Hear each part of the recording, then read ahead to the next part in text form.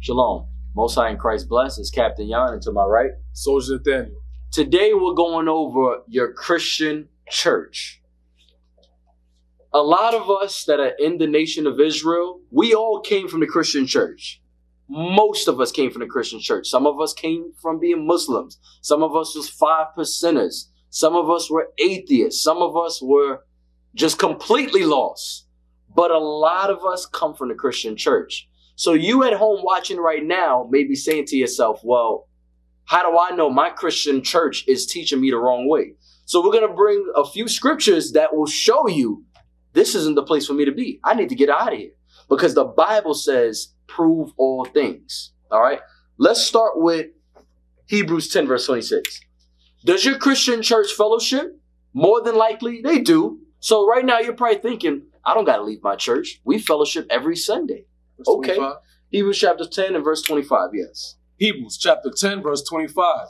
Not forsaking the assembling of yourself, of ourselves together, as the manner of some is, but exhorting one another, and so much the more as ye see the day approaching. So the Bible commands us to fellowship. The Bible commands us to fellowship. So that's one of the laws in the scriptures. Now, here's another law in the scriptures that you need to ask yourself is your church teaching you this? Let's go to the day of worship. What day do you go to church? Oh, I know. Wait, what day did you go to church when you grew up? It was actually Saturday. It was a it was a Saturday. Okay, so you was in the spirit. yeah. Wait, was Sort it. Friday at night to Saturday night? No. Okay, so all right, all right, all right. but you at home, more than likely, you're fellowshipping on a Sunday. For example, me, when I grew up in a Christian church, it was a Sunday. But the Bible commands us, listen, go to um, Leviticus 20, uh, no, sorry, Exodus 20, verse 8. Exodus 20, verse 8. Exodus chapter 20, verse 8. Some of you listening are Jehovah Witness, Baptist, Pentecost, uh, Seventh day Adventist. Seventh day Adventist, Episcopalian, non denominational, Catholics, Protestant, all kind of religions. But guess what? All of them are false. Read this. Exodus chapter 20, verse 8. Remember the Sabbath day to keep it holy. Six days shalt thou labor and do all thy work. But the seventh day is the Sabbath of the Lord thy God. In it thou shalt do no, thou shalt not do any work. Thou, nor thy son, nor thy daughter, thy manservant, nor thy maidservant, nor thy cattle, nor thy stranger that is within thy gates. So it says, but the seventh day is the day of rest. When is the seventh day? Saturday. Like in Spanish, sábado. The Bible says on the seventh day, God rested. So what's Sunday? The first day of the week. So if you are fellowshipping on a Sunday, you are following God falsely. Now, the Bible says he rested on the seventh day. So guess what? On the Sabbath, you are commanded to fellowship. That is a law that on the seventh day we are commanded, like Hebrews 10 says, not forsaking the assembling of ourselves together. Now we just knocked out a ton of religions right there. Right. So now some of you Jehovah Witnesses think you got it.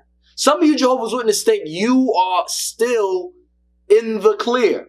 Not at all. Listen good. Listen good.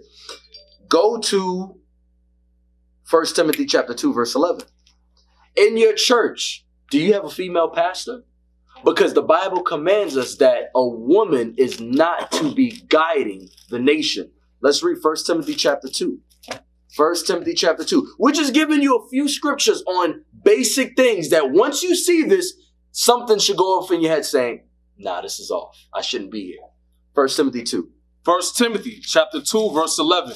Let the woman learn in silence with all subjection. The Bible says to let the woman learn in what? silence. In what? In all subjection. In what? In silence. In silence. The Bible says the women are to learn in silence. That's the New Testament. So the Bible is giving us the basic laws, but guess what? In your church, who may be running the congregation? You may have a female pastor. That's right. You may have a Juanita Bynum's Jr. You understand? You may have that female pastor that's guiding the church. The Bible says that's out of order. We're going to give you another. We verse 12. Oh, yes, yes, Verse yes. 12. But I suffer not a woman to teach. What did the Bible just say? but I suffer not a woman to teach. So it is out of order if you have a female teaching the whole body of believers. The Bible condemns that.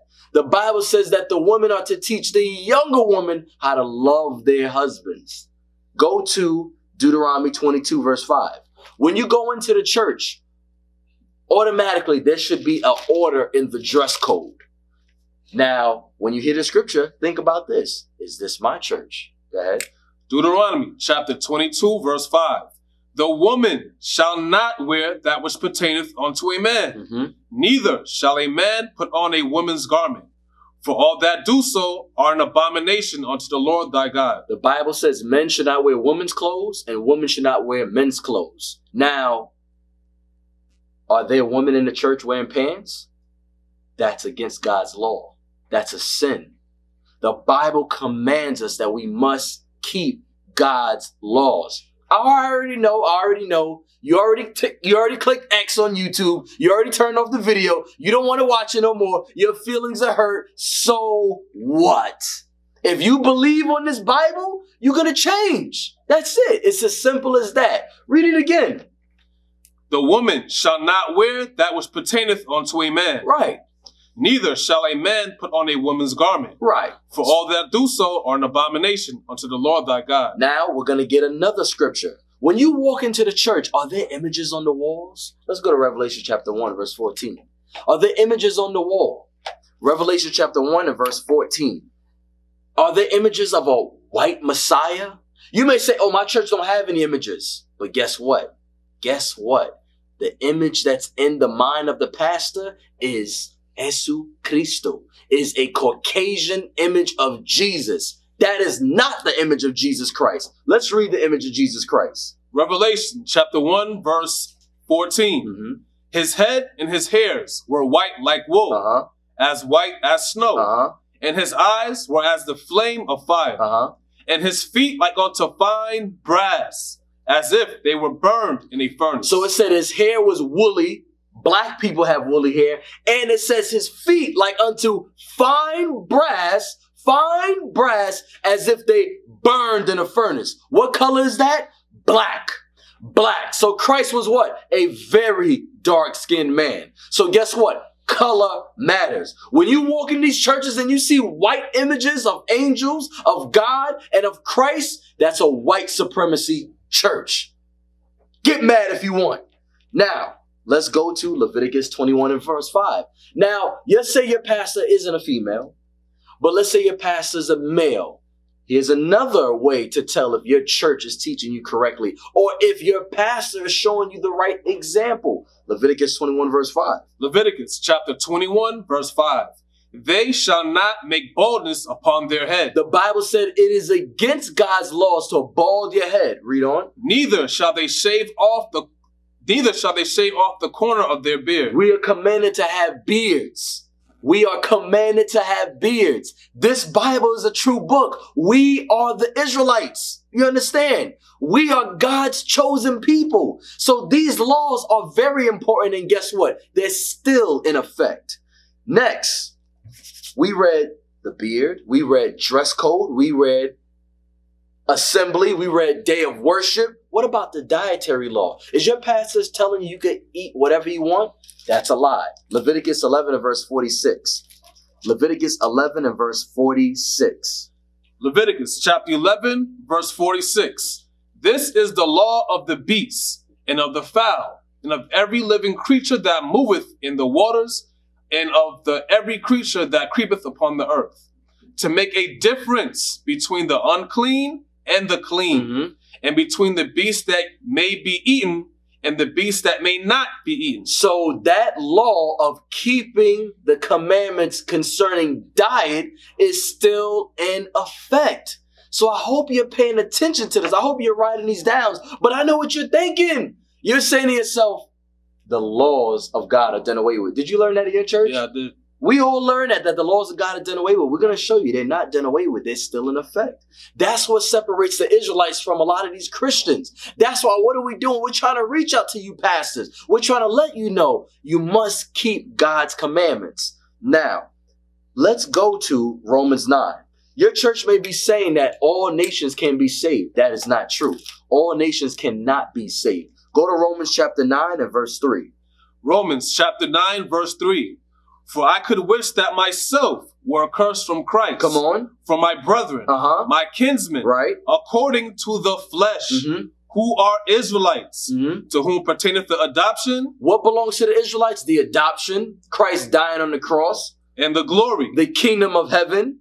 and the covenants. And you know what's heavy about that? When you read Revelation 21, it says the 12 gates has the 12 tribes of the nation of Israel's with the names of the 12 apostles. You don't read all nations, you read Israel. Read on. and the covenants, The old covenant and the new covenant pertains to the Israelites. and the giving of the law, The giving of the law was only made to the Israelites. and the service of God, The service of God, meaning us keeping the commandments, was made for the Israelites. and the promises. The promises of God to Abraham, Isaac, and Jacob, the promises that God gave us, was made to the Israelites. who are the fathers, Whose are the fathers? And of whom, as concerning the flesh, As concerning the flesh, Christ came. Christ didn't come for all nations. Christ came for you blacks, Hispanics, and Native American Indians. Read. who is over all, God bless forever. Amen. Read on. Not as though the word of God have taken none effect, Come on. for they are all not all Israel. For they are.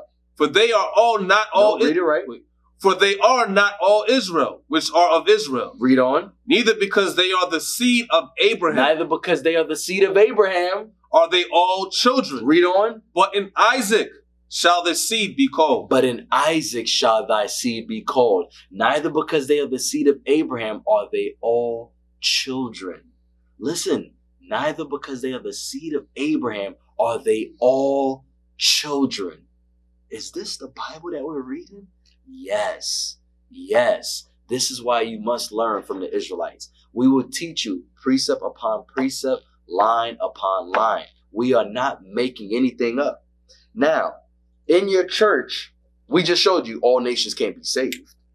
In your church, is there order? Is your pastor teaching you that in the home it's a 50-50? Hmm.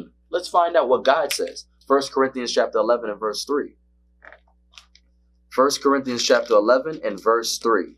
First Corinthians chapter 11, verse 3. Mhm. But I would have you know that the head of every man is Christ, and the head of the woman is the man. And the head of the woman is who? the man. What about 50-50? the head of the woman is the man. God has given power of the God has given the man power over the woman. So this is an order in the church. So in your church, if you're learning that we're equal, that male and female are equal, that husband and wife are 50-50, that's a lie. Because God says the head of the woman is the man. Now, in your church, go to Leviticus chapter 20, verse 13. Are there lesbians and homosexuals openly in the church? In the choir, singing? Are there? Do you see that in the church? Well, let's see what God's law says about that. Read this. Leviticus chapter 20, verse 13. If a man also lie with mankind, as he lieth with a woman, both of them have committed an abomination. Uh huh. They shall surely be put to death. So you hear what the law says? The law says that the Bible is against homosexuality and lesbianism. And in your church, a lot of you, you clearly see the homosexual. You clearly see the lesbian. But are we saying that lesbians and, and homosexuals can repent? That's not what we're saying. They can repent, but your church must be teaching them repentance, must be teaching if you do not change your life, you cannot fellowship here. We cannot let you live that lifestyle without correcting you. You understand? When you join the nation of Israel, when you join, we teach you the laws to help cleanse you. All right, so let's get Romans chapter 10, last scripture. Romans chapter 10. So, when did a lot of these religions start, brothers and sisters? When we were in slavery. The so-called white man taught us how to fear God. The so-called white man taught us to be Baptists, taught us to be Mormons, taught us to be Pentecostals, taught us to be Lutherans, Seventh day Adventists, Jehovah Witness. We learn these religions in slavery. And that's why the scripture says this Romans chapter 10 and verse 3. Romans chapter 10, verse 3. For they being ignorant of God's righteousness. For they being ignorant of God's righteousness. And going about to establish their own righteousness. That's what these churches are. They have established their own righteousness. And to make you believe they're teaching you the fear of God. But they're not. That's why the Israelites are here. We are going to teach you correctly. We're going to show you, thus saith the Lord. That's why all most Israelites we all, most of us came out of the Christian church. So, Lord's will, we hope these scriptures were easy for you to understand. We went through a, a simple step by step guide of do you see these sins in your church? And if so, leave. All right? Shalom.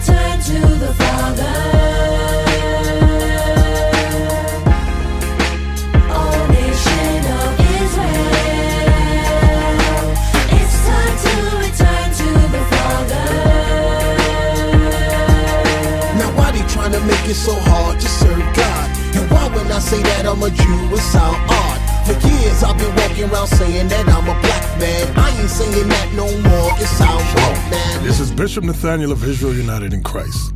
Please subscribe to our YouTube channels. Stay up to date with our latest events, music, and classroom lessons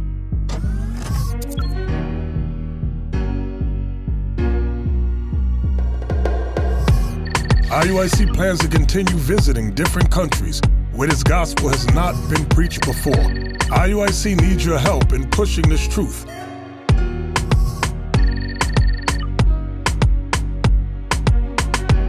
So join us.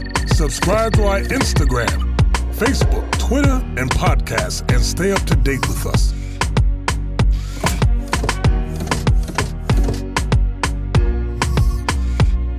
More information, please visit www.israelunite.org.